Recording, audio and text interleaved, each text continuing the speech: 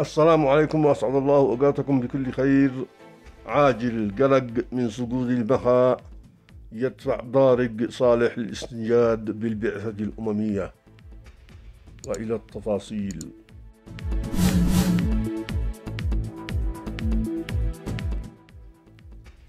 أبدت حكومة عدن اليوم الاثنين مخاوف من سقوط مدينة المخا أبرز معاقل الفصائل الموالية للإمارات. يأتي ذلك في أعقاب تحذيرات صنعاء من تحركات مشبوهة هناك.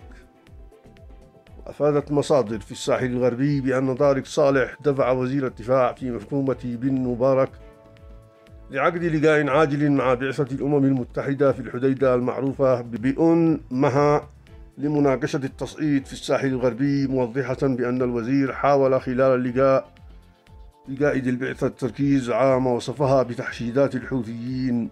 في الحديدة.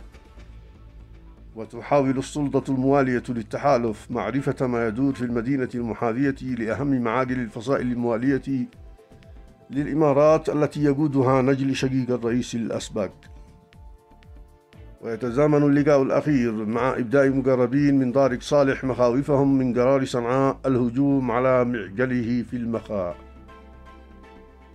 وكانت صنعاء قد حذرت على لسان أكثر من مسؤول من تبعات وصول ضباط استخبارات إسرائيليين إلى المدينة التي تحضر لتكون منطلقا للتصعيد العسكري على اليمن ضمن خطة أمريكية إسرائيلية للضغط على اليمن لوقف العمليات البحرية ضد الاحتلال الإسرائيلي.